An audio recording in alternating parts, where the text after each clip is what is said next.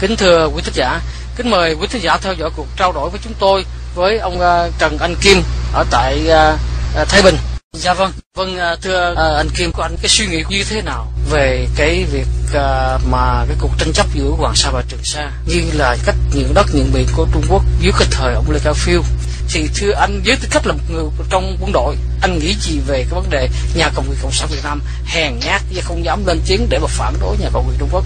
Lấn chiếm một từ trường sa và hoàng sa, thưa anh thưa Hòa Hà và thưa tất cả các ờ, quý vị khán giả nghe đài hôm nay. Tôi là một sĩ quan đã từng chỉ huy chiến đấu đánh quân Trung Quốc xâm lược. Và tôi vẫn nói rằng nếu như không có cái tiểu đoàn chúng tôi chặn đứng được những cái trung đoàn bộ binh của địch thì nó sẽ thực hiện đúng được ý đồ chiến lược của nó là gì? Ăn cơm sáng ở Lạng Sơn và ăn cơm trưa Hà Nội. Thì lúc bây giờ tôi nghĩ nó tàn phá đất nước như nào? Và thực tế mà nói trong thâm tâm của chúng tôi là những người lính và những người sĩ quan ấy, thì chúng tôi bảo là chúng tôi vẫn cứ nói với nhau đấy. Thực ra mà nói là Mỹ xâm lược Việt Nam nhưng không phải tàu mới là xâm lược. Mà chúng ta phải sống với tàu một nghìn năm bắc thuộc ta đau lắm chứ. Nó giết phu nó hiếp phụ chúng ta đau lắm chứ. Ngày xưa các cụ còn lại lịch sử còn lại. Cho nên chúng tôi rất căm cho nên là chúng tôi không thể chung sống với tàu được. Và coi tàu là kẻ thù số một chúng tôi hoàn, hoàn toàn nhất trí. Thế thì ngay cái thời gian chiến đấu tháng 2 năm 1979 ở trên là biên giới Lạng Sơn ấy, thì lúc bây giờ là có Nga giúp đỡ. Chúng tôi đã nói rằng nói với nhau đấy, ông Nga lúc về chỉ miệng hùm gan sữa thôi. Tàu đánh như vậy, ông chẳng ủng hộ được cái gì. Vũ khí của ông cũng ủng hộ thì toàn cái loại sản xuất từ năm 39 năm 42 thôi. Cho nên bắn không đúng lô đúng liều, nó sai lắm. Có khi nó để đánh vào chính ta đấy. Đấy là cái về về về vấn đề này, về tàu. Nói là cái sự căm thù thằng tàu, đây là chúng tôi có cái lòng căm thù thằng tàu ngay từ đó rồi. Thế còn sau khi trường sa thế này nhá, sau khi trường sa thì đến đây là năm 1988 nó đánh trường sa, thì tôi đã đi nói chuyện với cái huyện, cả một cái huyện ở huyện hưng hà này. Tôi nói chuyện về trường sa đấy thế nhưng mà lúc bây giờ là cái hạm đội tàu nguyên tử của nga nằm ở cả ngam ranh thế nhưng mà khi tàu nó đánh trường sa của ta như vậy, nó giết bao nhiêu sĩ quan như vậy, thế mà cuối cùng là ông nga không thái độ gì cả. Thế ngay lúc đó tôi đã suy nghĩ rồi. Tôi nói là tôi suy nghĩ, tôi nói chuyện với nghe các anh em, tôi bảo là nếu như tôi là người được quan hệ và người được phát biểu cái chính kiến của mình thì tôi sẽ thân mỹ. Sau khi đánh mỹ xong rồi, để mỹ cút được rồi, theo đúng ý tưởng của hồ chủ tịch rồi, thì tôi thân mỹ hơn. Bởi vì khi mỹ đứng ở việt nam thì tôi tin rằng tàu không dám làm như vậy. Cho nên là tôi đã coi những người chiến sĩ, những sĩ quan của quân đội việt nam cộng hòa giữ quần đảo Hoàng Sa đều là những anh hùng cả, đều là những anh hùng của dân tộc Việt Nam cả. Bởi vì người ta còn anh hùng hơn cả quân đội nhân dân Việt Nam, người ta còn giữ được quần đảo Hoàng Sa. Và lúc đó, tôi lại càng thấy cái ý nghĩa của cái việc để cho tàu nó đánh Hoàng Sa, Trường Sa, lại càng chúng tôi thấy, nghĩ rằng chúng tôi đau đớn. Và thực tâm mà nói là những sĩ quan không đuổi được quân tàu ở ngoài Hoàng Sa, chúng tôi thấy nhục, chúng tôi thấy nhục lắm anh ạ thế cho nên tôi nói bây giờ là kể cả anh em và sĩ quan, chiến sĩ Việt Nam Cộng Hòa và kể cả quân đội nhân dân Việt Nam, chức năng của lực lượng chúng ta là vũ trang chúng ta là gì? Là chiến đấu bảo vệ tổ quốc, chứ không phải bảo vệ đảng. Chúng tôi là bảo vệ tổ quốc, bảo vệ nhân dân, chứ chúng tôi phải bảo vệ đảng. Cái đó là nói rõ như thế. Cho nên là tôi vẫn tôn vinh những cái anh mà năm 1974 đấy là của quân đội Việt Nam Cộng Hòa giữ quần đảo Trường Sa. Chúng tôi vẫn tôn vinh các anh là các anh hùng, và chúng tôi vẫn khâm phục các anh ấy. Chỉ có một lực lượng nhỏ như vậy và phải chống một cái lực lượng như vậy, lớn như vậy mà trong khi chính cái đảng cộng sản Việt Nam này đem bán cái đó cho cho tàu đau lắm sau này chúng tôi biết cái lúc đó nó bưng bít lắm mà nhà chúng tôi biết đâu cho nên là về cái quan điểm hoàng sa trường sa thì bây giờ tôi hoàn toàn thống nhất với các sĩ quan trẻ bây giờ đấy. Người ta nhận thức đấy. Người ta bảo cái cái đảng cộng sản việt nam này, cái nhà nước việt nam này hèn hèn nhát. Nhưng cái quân đội chúng tôi nó hùng hèn. Đấy, vừa rồi là sau khi bị cách chức toàn bộ cái bộ tư lệnh của quân khu thủ đô đấy thì tôi nghe một sĩ quan nói tôi sung sướng lắm. Tôi thấy anh em mới là sĩ quan trẻ cho nên nhận thức là tốt. Còn riêng bản thân tôi thì tôi nghĩ là thế này này. Thực ra mà nói, bản thân chúng tôi thì chúng tôi không bao giờ hèn nhát. Chúng tôi không bao giờ chịu nhục trước cái thằng quân trung quốc. Thế nhưng mà cái đảng này nó chịu nhục cái đảng này nó đem nó bán đấy là rõ ràng bây giờ là cái đảng này đem bán nước. Bán hoàng sa, bán trường sa cho tàu, bán nên là biên giới cho tàu, bán biển cho tàu. Thế là coi như bán nước rồi. Thì tôi thấy là tôi đã nói rằng chưa cái nỗi chưa trong lịch sử dân tộc Việt Nam của các triều đại, chưa cái triều đại nào khốn nạn như cái triều đại đảng cộng sản miền Nam đem bán nước. Ngày xưa ông cha ta đấy, mặc dù có đánh tàu, sau khi nói là nước mạnh thì vẫn đem cống nó cũng nạp nó, nhưng không bao giờ nhường cho nó một tấc đất. Đấy là cái thái độ của ông cha ta rất rõ. Đáng nhẽ ra cái đảng cộng sản này cũng phải học, ông cha ta tổ chức, đừng để cho tàu nó chiếm một tấc đất. Chứ thì tại sao bây giờ để nó chiếm trường sa, để nó chiếm hoàng sa của ta như vậy? Thế nhưng mà có một cái điều tôi thấy nó khốn nạn nữa ở chỗ này.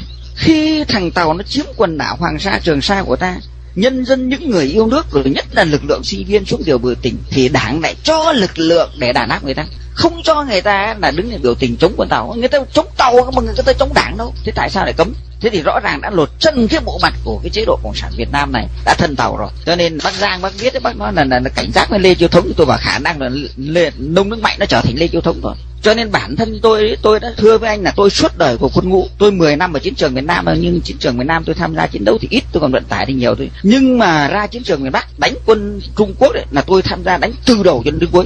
Đánh từ phút đầu cho đến phút chót. Mà 12 năm tôi lăn lộn ở trên chiến trường ấy, ở trên biên giới phía Bắc nữa cho nên là tôi rất căm thù tàu cho đến bây giờ tôi cũng rất căm thù tàu và tôi tôi đã nói rất rõ quan điểm của tôi với cái đảng cộng sản việt nam là gì? Thằng tàu phát triển được như ngày hôm nay là nó nhờ việt nam. Đáng nghĩa là phải cảm ơn việt nam. Bởi vì việt nam ngu không để mỹ ở đây. Cho nên thằng tàu nó mới lớn tới. Và bây giờ nó mới phát triển như vậy. Đấy là cái đó mà cái mà, đấy là suy nghĩ của tôi đấy. Cho nên tôi viết bài cái lối ra là gì? Lối ra là tôi bảo là bây giờ, trong cái trong cái thời bài, thời buổi hiện nay rồi cả thế giới người ta đi theo một chiều rồi chỉ có mỗi bốn nước thôi trong đó có việt nam thôi là cứ đi theo mình một hướng. Thế mà cái nguyên tắc của nó là gì? Nguyên tắc của nó nó là thiểu số phục tùng đa số. Thế tại sao bây giờ cái đảng sản việt nam không, không phục tùng cái đa số đi? Bây giờ cả cái thế giới này người ta đi theo con đường đa nguyên đa đảng cả cái thế giới này người ta dân chủ hóa đất nước rồi cả cái thế giới này người ta đi theo phong say sưa với phong trào uh, dân chủ tự do rồi. Và chính ngày xưa chúng tôi rất say sưa với độc lập dân tộc này với nền là tự do này dân chủ này. Ai cũng có cơm ăn ai cũng có mặc ai cũng có học hành chúng tôi say sứ mục tiêu. Chúng tôi đi đánh giặc. Nếu không thì tôi bảo là thà là ngày đó chúng tôi đi uh, nghe cái lực lượng chiêu hồi của của của Việt Nam Cộng Hòa. Chúng tôi chiêu hồi xong rồi đi theo chế độ Việt Nam Cộng Hòa. Chúng tôi thấy bây giờ chúng tôi có khi cũng sướng hơn nhiều. Chúng tôi không đến nỗi khổ như thế này nhỉ đấy nó như thế cho nên là tôi riêng về cá nhân tôi và tôi tin rằng tất cả những sĩ quan và bây giờ tất cả những đồng đội của tôi rất thù cái thằng tàu để chiếm hoàng sa trường sa của ta. Ở ngoài miệng thì nó nói 16 chữ vàng đấy nhưng thực tế việc làm của nó là như vậy. Nó chiếm hoàng sa nó chiếm uh, hải đảo của ta nó chiếm biên giới của ta rồi nó chiếm đến là vùng trời vùng biển của ta. Xong rồi là nó lại làm cho dân tộc ta cho nhất là lực lượng thanh niên bây giờ này anh ạ lực lượng thanh niên bây giờ là nghiện hút rồi là uh, nhảy rồi là thuốc lắc tất cả đều của tao đưa sang cả. Nó, nó, nó làm cho cái con người thanh niên của ta bây giờ không còn tư cách nữa rồi. Thưa vay trở thành thân tàn ma dại hết rồi. Bây giờ cái cảnh của Việt Nam nó tôi đã nói vào nó đồi nó đồi bại nó suy đồi hơn chế độ phong kiến thực dân ngày xưa cơ. Bây giờ là nghiện hút rất là nhiều. Thế rồi cảnh như là gì? Ông bà cúng con cha mẹ cúng con. Thế hỏi làm sao như vậy? Bởi chúng nó nghiện chúng nó chết cả anh ạ đấy cái thôn tôi ngày xưa có tám xóm thì chỉ nghe có nghiện đấy chứ. Thế bây giờ cả xóm nghiện rồi. Thế đấy tất cả những cái đó đều tàu nó dồn sang tôi đều tàu nó đưa sang tôi. Thế rồi cái thằng việt nam này thưa với anh là cái gì? Thưa với anh là nó ham tiền nó ham tiền. Nhưng đấy anh bảo là cái đội trưởng chống ma túy thì này là đi buôn ma túy. Thế bây giờ tôi nói như vậy thì chúng nó cứ bảo là cá thể tôi bảo ừ, cá thể tại sao ngày xưa dùng cái hình ảnh của chị dậu để chửi cả một chế độ?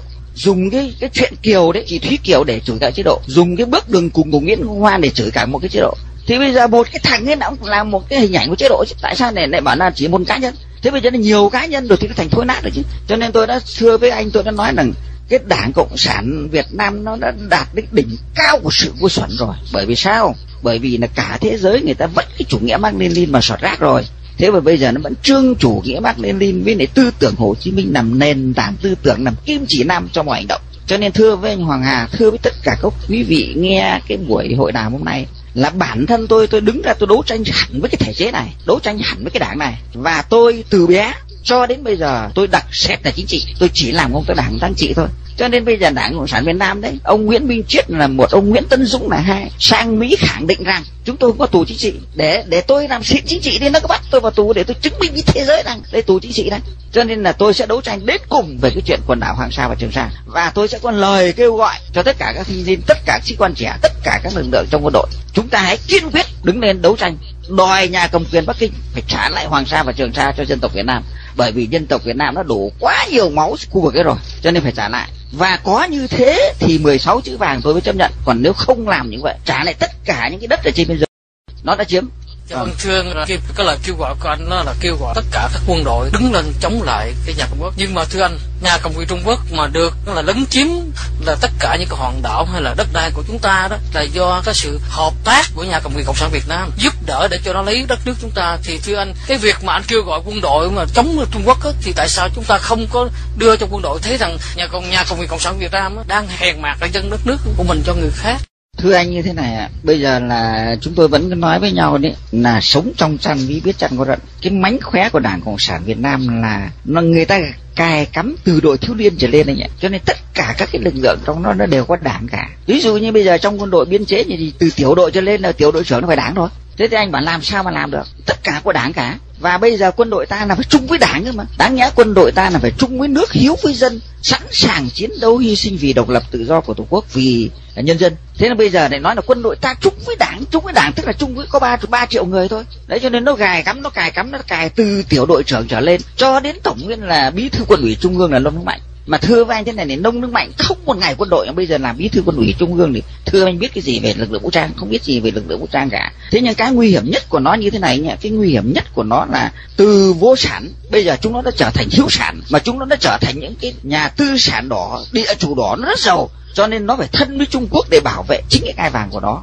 Và chính quân đội bây giờ cũng đã thoái hóa biến chất rồi các sĩ quan vào vào sĩ quan vào, đảng là mục tiêu của nó là để nó chấn áp anh em, chấn áp lính để nó làm giàu cho nó thôi, cho nên nó cũng thoái hóa biến chất cả rồi nhỉ. Cho nên tôi bảo là quân đội nó bây giờ nó thoái hóa biến chất rồi, nó là đảng cả mà. Chỉ bao giờ quân đội nó không giữ sự lãnh đạo của đảng nữa, quân đội nó phải độc lập, quân đội nó phải đúng chức năng của nó là nó chỉ có bảo vệ tổ quốc, bảo vệ nhân dân thôi, thì mới làm được cái chuyện đó. Thế thì cái muốn làm được cái đó thì thưa với anh thế này, tôi cũng như tất cả các sĩ quan trẻ nhưng tôi rất mừng về thế này này, rất mừng những sĩ quan trẻ người ta đã nhận ra cái mừng thứ nhất của tôi là sĩ quan trẻ nhận ra cái mừng thứ hai là các cháu sinh viên đã nhận ra cái đó là tôi rất mừng, đã nhận ra điều đó. Cho nên quân đội chúng ta phải tách khỏi đảng. Quân đội chúng ta không thể bảo vệ đảng được. Chúng ta, quân đội chúng ta là bảo vệ tổ quốc. Thế bây giờ tổ quốc đang mất đấy mà quân đội không làm thì tôi cho là cái quân đội này cũng là hèn luôn cái quân đội nhân dân Việt Nam bây giờ là hèn luôn. Bởi vì là quân đội cứ tự hào thì bây giờ thưa với anh thế này này. Tôi nói là bây giờ nó toàn dùng những cái ngày xưa đã có. Tức là ngày xưa chúng tôi làm được. Để đi nó khoe khoe với nước ngoài rằng là à, chúng tôi đánh thắng đế quốc nọ chúng tôi đánh thắng đế quốc nhưng bản thân chúng nó có đánh đâu thế nhưng mà tôi thấy nghe một câu rất sâu sắc khi mà ông phan văn khải sang bên thái lan đấy ông ấy đưa ra, ông khoe với lại ông thạc sĩ đấy ông bảo là đất nước việt nam chúng tôi tự hào là đánh hết đế quốc này, đánh hết đế quốc ca và ông thạc sĩ nó trả lời một câu rất ngắn gọn mà thưa ông đất nước chúng tôi không có vinh hạnh được đánh thắng những cái đó. Ờ, nếu giả sử như tôi là người sâu sắc, tôi nghĩ cái đó nó nhục quá thế còn quân đội nhân dân việt nam bây giờ anh bảo là thưa với anh là từ tiểu đội trưởng cho đến nó đảng cả. Cái đảng nó kìm kẹp như thế thì làm sao mà xoay chuyển được tình hình? Thế mà anh em thì nó này bây giờ nó cũng giống như lúc của tôi còn trẻ mà, thì thích đảng lắm, chỉ thích vào đảng. Để nhồi nhét, rồi thích tiến độ, thích thích thế nọ, thích thế kia, cho nên là cuối cùng nó không dám chỉ huy quân nào cái đó thế nhưng mà tôi tin rằng đến khi mà anh em sĩ quan trẻ và các cái lực lượng đã nhận ra thì lúc bây giờ nó khác. Tôi tin rằng nó sẽ có cái bước lúc này đang tích lũy về lượng và đến khi cái lượng đủ rồi, nó chuyển thành chất rồi thì tôi tin rằng lúc đó trở thành sức mạnh. Tôi có cái niềm tin như vậy, anh ạ. Dạ vâng, xin cảm ơn à, ông Trần Anh Kim rất là nhiều việc. À, và chúng tôi à, sẽ liên lạc à, tiếp tục lại với ông Kim để mà có thể trình bày thêm về cái quan điểm của cái người cùng bộ đội cũng như là trong quân đội để mà bỏ là làm thế nào để bảo vệ tổ quốc chúng ta trong những cái ngày tới. Mà rõ ràng nhà cầm quyền cộng sản Việt Nam rất là hèn mà khi mà im lặng không để cho người dân hay là quân đội chống lại những cái việc mà xâm lấn đất đai cộng sản Trung Quốc và trước khi chúng tôi rời khỏi làn sóng này để thưa ông Trần Anh Kiên cũng như là có thể cho một cái lời kết cuối cùng về cái, cảm nghĩ về cái việc trong tương lai trong những ngày tới này quân đội ta làm gì để có thể vạch mặt nhà cầm quyền cộng sản Việt Nam để mà chống lại nhà cộng sản Trung Quốc để lấy lại một sự tự độc lập cho dân tộc chúng ta thưa anh Vâng, ờ, thưa anh Hoàng Hà và thưa tất cả các quý vị nghe trên ờ, hội luận năm nay, tôi có một cái suy nghĩ thế này này. Trước sau, cái lực lượng trẻ này nó cũng sẽ phát huy truyền thống của ông cha ta, Trần Hưng Đạo Quang Trung khi đã nhận đúng là vấn đề rồi, thì đảng cộng sản việt nam có cản không được nữa. Dứt khoát nó phải đứng đúng vào, đứng đúng vào vị trí, đúng vào chức năng của nó là gì là lực lượng vũ trang phải bảo vệ tổ quốc. Khi tổ quốc chúng ta mất, kiên quyết chúng ta phải chiến đấu để giành lại. Và chúng ta phải giành độc lập trọn vẹn dân chủ thực sự, tự do thực sự đúng nghĩa của nó. Chứ chúng ta không mang theo cái cái kiểu gọi là tự do dân chủ của cộng sản gấp triệu lần dân chủ cộng sản. Nhưng tôi thấy rằng ông thiệu ông nói một câu rất hay là gì? Đừng nghe cộng sản nói, hãy nhìn những việc cộng sản làm. Thì trách nhiệm của chúng tôi là những người đi trước. Chúng tôi phải làm cho lực lượng trẻ nhận ra vấn đề đó. Và sau khi nhận ra vấn đề đó từ chỗ người ta nhận thức rồi, là người ta chuyển đến cái chất khác rồi, thì tôi cũng như lần tôi trả lời BBC đấy, bây giờ nó đang là sóng ngầm, nhưng khi nó trở thành sóng thần rồi, thì thưa với anh, nó sẽ dập tắt. Tôi tin rằng cái đó sẽ có. Vấn đề chỉ còn là thời gian, thưa anh Hoàng Hà qua đài, tôi xin chân thành cảm ơn anh Hoàng Hà chân thành cảm ơn tất cả các quý vị trong ban biên tập hôm nay, và chân thành tất, cảm ơn tất cả những người trên diễn đàn hội luận ngày hôm nay chúc tất cả các quý vị mạnh khỏe và luôn luôn đoàn kết gắn bó bên nhau kiên quyết không để cho dân tộc Việt Nam phải chịu cái nỗi nhục như Đảng Cộng sản Việt Nam đang cầm quyền đang bắt chúng ta phải chịu. Thưa anh Hoàng ạ. Dạ vâng xin cảm ơn uh, anh Trần Anh Kim rất là nhiều và xin kính chào anh